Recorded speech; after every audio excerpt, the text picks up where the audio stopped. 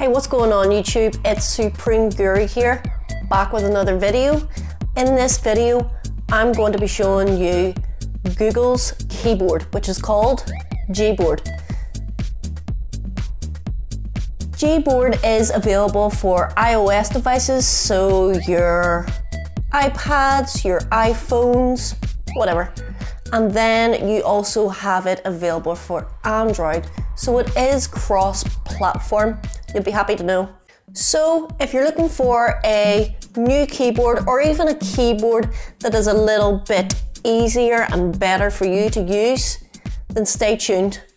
So we're going to be looking at the Gboard app on the Huawei P9. So I'm going to be looking at it on an Android device. The iPads and the iPhones may look slightly different. So for this tutorial only, we're doing it on Android. Yeah, boy. Hey, what is up, guys? So I've got the Huawei P9 sitting in front of me.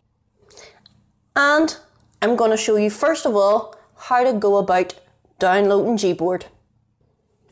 So let's head to the Play Store. Now that you're in the Play Store, let's search for Gboard. Gboard. Ha, that didn't get it. Let's search for Gboard.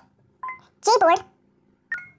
Right. Okay, so obviously the Northern Ireland accent isn't great with Google.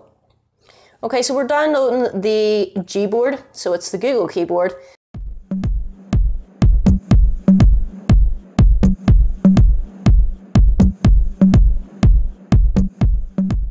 So let's just make sure that we've got it set up. Let's go to our settings on our phone and we're going to look for language, probably in advanced settings here. Yeah, language and input. So let's go in here. Okay, default keyboard is my swipe, Huawei swipe. Let's change that now to Gboard. Okay, grand. So we're changed to Gboard. So let's go into a text message, create a new text message, and click here, and that will bring up Gboard.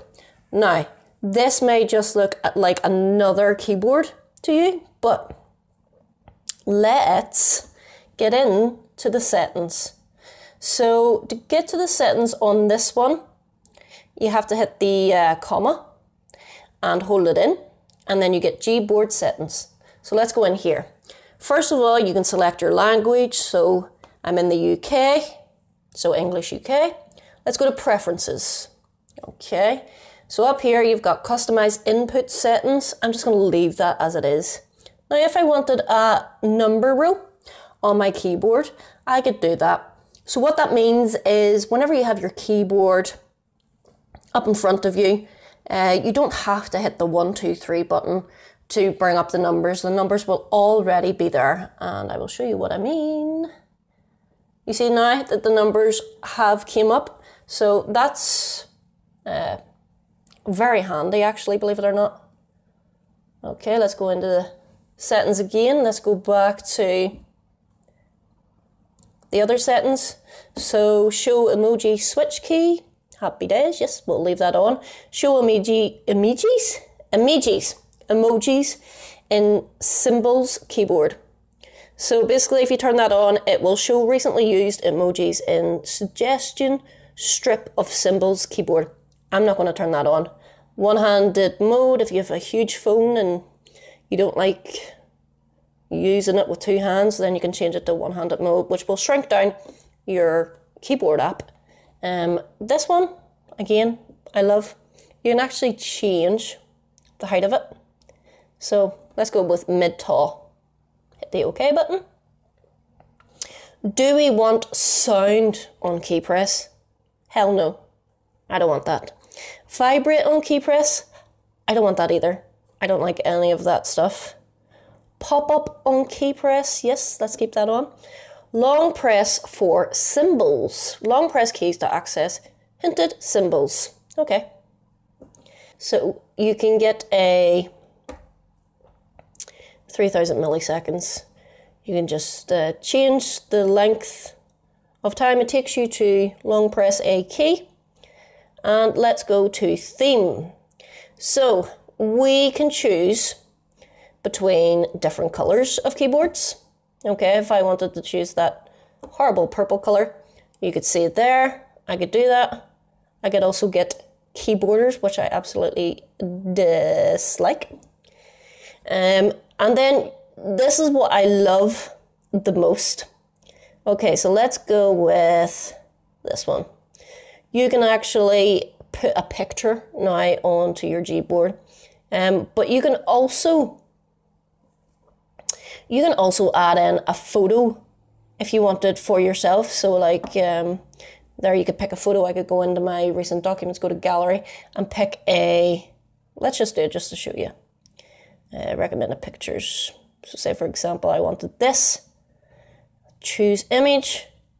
What part of the image do I want to see on my keyboard? Let's go over here. And there you can see that that, look at that. Isn't that amazing that you can do that to a keyboard? Anyway, let's go back. Back, back, back, back, back. Okay, so you can you can customize it. Text correction. Uh, so display suggested words while typing. Yes, that is very handy. Uh, next word suggestions. Use the previous word when making suggestions. Yes, I keep all these on. Okay, I'm not going to go through absolutely everything. Uh, auto correction. So if you don't like being auto corrected, you can turn that off. If you don't like being having your uh, new sentences have a capital letter, automatically do that. You can turn that off. Uh, and double space. So if you hit the double space bar, it will produce a full stop. Glide typing. Uh, if you've never used swipe typing before, then you might not know what that is, but I will show you. You can go to dictionary, select the dictionaries. You can search, suggest Google search queries as you type in supported languages. Uh, okay, so advanced, what is it? Uh, symbol for a physical keyboard, show up icon, blah, blah, blah, blah, blah, blah. Okay, so now you can see my keyboard is very nifty looking. Swipe is basically this. Hello, hi, are you today? Okay, so you just swipe along the letters that you would um, use. You know, instead of typing it out, it's sometimes really a lot quicker if you do it that way. Um, and then you can bring up your emojis. And you can still go to your symbols. If you enjoyed this video, then smash that like button. And if you want to see more tech videos by me, then it would be really nice if you would subscribe to my channel. Um, and you know, until next time, guys. See ya!